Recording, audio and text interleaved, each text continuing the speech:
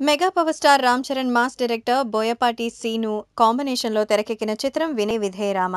సంక్రాంతి కానుకగా జనవరి పదకొండున ఈ చిత్రం విడుదల కాబోతోంది. ఈ సందర్భంగా చిత్ర యూనిట్ ప్రమోషన్ కార్యక్రమాలను వేగవంతం చేసింది.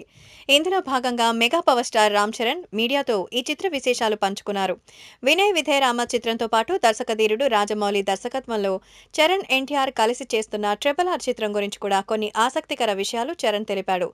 ఆయన మాట్లాడుతూ ట్రిపుల్ ఆర్ మొదటి షెడ్యూల్ పూర్తయింది. మొదటి షెడ్యూల్ సన్నివేశాలు చాలా బాగా వచ్చాయి. ఇక షూటింగ్ విషయానికి వస్తే నాకు తారక్కు ఎప్పటి నుంచో మంచి స్నేహం ఉండటం వల్ల సెట్లో ఎటువంటి ఇబ్బంది పడలేదు. చాలా ఈజీగా అనిపించింది. సంక్రాంతి తర్వాత రెండో షెడ్యూల్ మొదలవుతుంది. అసలు ఈ ఆఫర్ మాకు వచ్చినందుకు నేను తారక్ షాక్ అయ్యాం. చాలా సంతోషించాం కూడా. ఇక అభిమానుల విషయం అంటారా? రాజమౌళి గారు తప్పకుండా అందరికీ జస్టిఫికేషన్ ఇస్తారనుకుంటున్నాను. ఈ విషయంలో నాకంటే తారక్ కంటే ఆయన కూడా ఎక్కువ ఒత్తిడే ఉంటుంది. మా ఇద్దరి ఫ్యాన్స్ రాజమౌళి గారి సినిమాలకున్న ఫ్యాన్స్ని బ్యాలెన్స్ చేస్తూ సినిమా చేస్తారని అనుకుంటున్నా. కథను బట్టే రాజమౌళి గారు నన్ను తారక్ని సినిమా కోసం కలిసి కథ చెప్పారు. అంతే తప్ప ఆయన స్టార్స్ దొరికారు కదా అని ఆ తర్వాత కథ అల్లే టైప్ కాదు. అలాగే రాజమౌళి గారి సినిమాకు టైం లిమిట్ పెట్టుకోలేం. అలా ఉంటే ఆయన పని చేయలేరు. అందుకే టైం గురించి పట్టించుకోరు కూడా.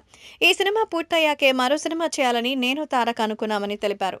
మొత్తానికి నిజంగా రాజమౌళితో సినిమా చేయడానికి స్టార్స్ కూడా ఎలా ఎదురు చూస్తారన్న విషయం మనకు చరణ్ చెప్పిన విషయాన్ని బట్టి తెలుస్తుంది. కేవలం ఇది వాళ్ళిద్దరూ అనుకుని చేయలేదు. సో రాజమౌళి డిసైడ్ అయ్యారు కాబట్టే ఈ ఇద్దరు ఇలా కుదిరారన్నమాట. కుదిరారు